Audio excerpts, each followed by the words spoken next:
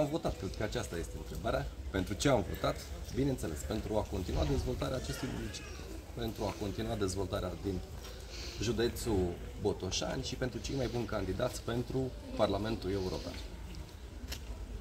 Îi îndemn pe toți uh, botoșenenii să-și exercite acest drept constituțional și să aleagă în consecință așa cum vor decide.